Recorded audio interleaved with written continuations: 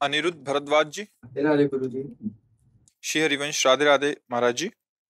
महाराज जी अभी मैं कॉलेज में पढ़ रहा हूँ। महाराज जी हमारी जनरेशन बहुत ज़्यादा गलत कामों में लगी है और गर्लफ्रेंड बॉयफ्रेंड बनाना एक ट्रेंड सा चल गया है और बचपन के दोस्त भी गलत रास्तों पे चल चुके हैं और साथ रहने के कारण कभी कभी मेरा मन बहुत ज़्यादा डिस्टर्ब हो जाता है जबकि श्री जी कृपा से आज तक कुछ गलत कार्य नहीं हुआ। महाराज जी कृपा करके इस विषय पे भी मेरा मार्गदर्शन करें वैसे कई बार इस विषय पे चर्चा हुई है पर हमें लगता है कि हम दूसरों को नहीं संभाल सकते हमें अपने को संभालना है। सिद्धांत की बात समझो दूसरे गलत कर रहे हैं हमको नहीं करना है। फिर हमको कोई परास्त नहीं कर सकता। दूसरे सुधरे तो हम सुधरे कभी सुधर नहीं सकते। हमको अपने आप को सुधारना है। तेरे भावे जो करे भलो बुरो संसार नारायण तू बैठ के अपनो भवन बिहार। अपने हृदय को हमको ऐसे, ये बहुत मतलब बहुत ही विध्वंसकारी वृत्ति है, जिसे गर्लफ्रेंड, बॉयफ्रेंड जो शब्दों से उच्चारण किया जाता है, ये विध्वंसकारी वृत्ति है। धर्म का नाश, पवित्रता का नाश, बुद्धि का नाश, वैभव विभूति का नाश, किसी भी तरह मंगल है ही नहीं।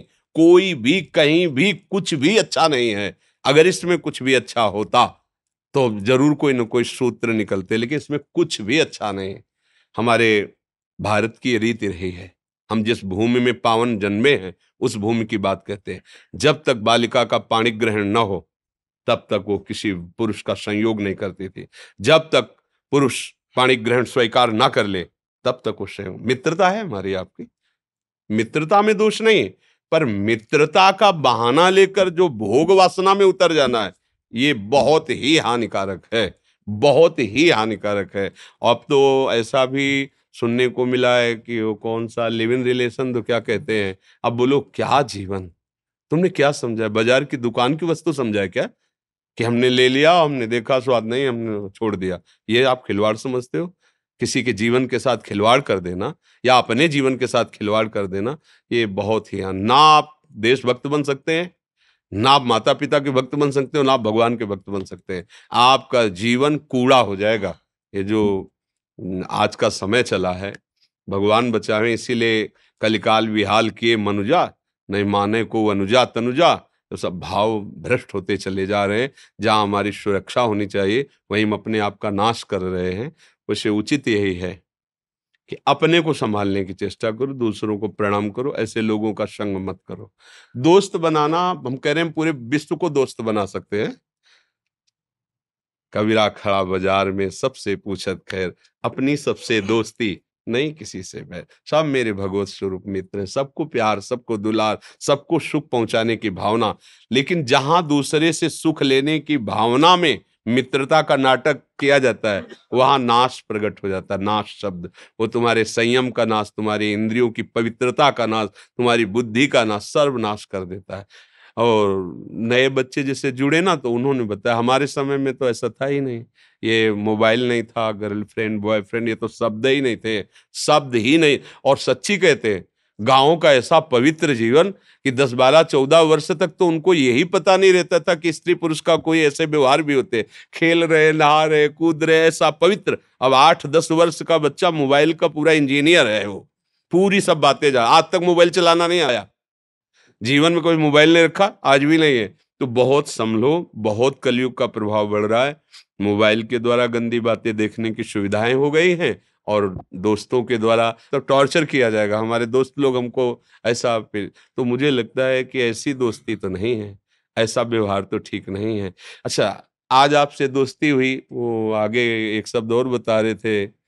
वो रोक देने को क्या कहते हैं? दोस्ती दोस्ती को रोक देने को क्या कहते हैं? हाँ अब बोलो ये अब वो दूसरे से है। वो दूसरे से अगर आप अपनी शास्त्रीय भाषा में इस व्यवहार को घुमा के पूछो तो क्या कहोगे अगर घुमा के पीछे बैक में आओ और महापुरुषों के वचनों से पूछो तो अगर वो शब्द उच्चारण करेंगे ना तो वैसे चोट लगेगी आपके हृदय में कि कितना गिरा हुआ शब्द कहा जा रहा है। इसको क्या कहते हैं जानते हो? पीछे के शब्दों में शास्त्रों में पढ़ लेना। आज जिसे तुम खिलवाड़ समझ रहे ना इससे ब्रेक किया। ब्रेक, क्या ब्रेकअप हाँ ब्रेकअप और दूसरे से फिर मित्रता फिर उससे फिर तीसरे से फिर चौथे से।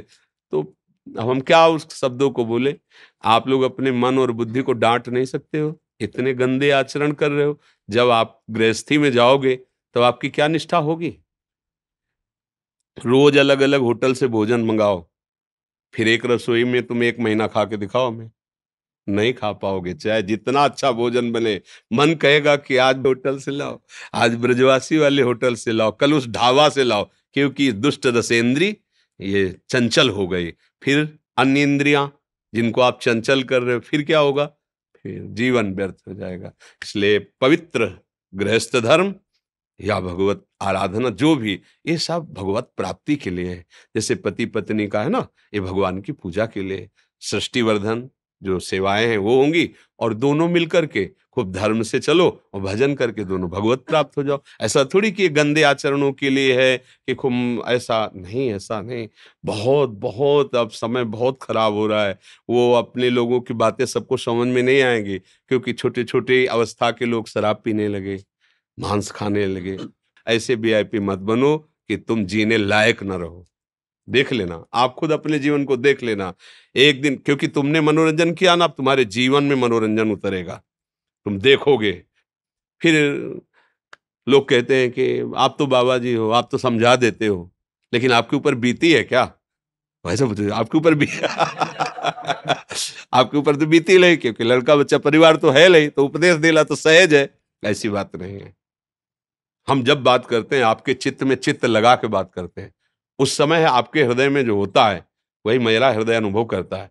तभी बोलते हैं, संतों का जो अनुभव होता है, वो आपके विषय की जैसे, आपको लगा मेरे मन की बात कह दी। तो ऐसे नहीं होता, आपके मन और हमारा मन तदात्म हुआ और उस समय उसने अनुभव किया, ऐसी स्थिति होती उसका वर्णन कर रहे हैं। तदात्मता से ही सब हमारे भगवत स्वरूप हो, और जहाँ एक मन करके लगाओ वो अपने आप पता चल जाता है कि आपकी मना स्थिति कितनी है, कैसी है। ऐसा संसार में होता है तो आपको कैसे पता चला? क्योंकि आपके मन में मन को लगाया गया तो पता चल जाता है हाँ ऐसा है ऐसा है। बच्चों बच्चा, भगवान की कृपा है जो आपके अंदर ऐसा प्रश्न है, अपने आप को बचाओ। ये बिल्कुल ठीक नहीं है, ना संसार के मार्ग के लिए और ना भगवान के मार्ग के लिए। संसार के, देखो, अगर संसार में भी कहीं सुख मिलता है तो प्रेम से मिलता है। पक्का समझना। पति पत्नी में एक अगाध प्रेम हो तो जीवन एक सुखमय, भले नमक रोटी हो। देखो, गृहस्थी में भी नमक रोटी है, कोई अच्छी व्यवस्था नहीं, लेकिन दोनों मुस्कुरा रहे हैं, दोनों एक दूसरे से प्यार करते हैं, ठीक धर्म से चलते हैं, बढ़िया गृहस्थी। वो प्यार कैसे करें? प्यार की भूमिका तो पहले ही नष्ट हो गई। अब रह क्या गया है? अब तो खोखला जीवन है। अब क्या होगा? अशांति, वृत्तियाँ व्यविचार में प्रवत्त। ये जो आजकल सुनते हो ना, ऐसा ऐसा ऐसा हुआ, कई लोगों ने मिलकर ऐसा ऐसा कैसे अत्याचार कोई कर सकता है? कितना हमारा हृदय अपने शरीर को प्यार करता है? हम ऐसे ही शरीर वालों के साथ कैसा व्यवहार करते हैं? क्या ये हमारा हृदय, देखो कितना कठोर, कितना गंदा हो गया। अगर हमारी बहन को कोई गंदी दृष्टि से देख ले तो हमें बर्दाश्त नहीं होगा। और दूसरे की बहन के साथ हम क्या व्यवहार करते हैं? वो मुझे बर्दाश्त हो जाता है। कैसी बुद्धि निम्न कोटि की, नीच कोटि की हो गए इसलिए संभालो अपने जो साथ हो उनको भी संभालो जो संभल पाए नहीं तो आप चलो। ये मार्ग अपने आप के संभालने का है। प्रभु मैं घर से मतलब पहली बार अकेले कहीं बाहर जाने के लिए निकला हूँ और प्रभु आपके दर्शन बढ़िया है। बस गंदे आचरणों में ना भागना। संत संग मिल गया है पर रहो माता पिता की आज्ञा में और हाँ और बिना सूचना दिए माता पिता को कहीं मत आना जाना। देखो माता पिता सबसे बड़े परमात्मा है हमारे, वो गुरु हैं। सबको मानना चाहिए। भाई, वो वृद्ध माता पिता का व्यवहार नहीं देखना चाहिए।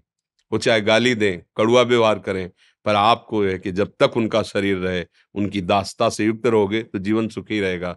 माता पिता भले कड़ुआ बोले, लेकिन जितना वो प्यार करते हैं ना हृदय से, दूसरा नहीं करेगा। मचा है जितना दुख हो, जब माँ ऐसे हृदय से लगा लेती ना तो एक असीम आनंद मिलता है।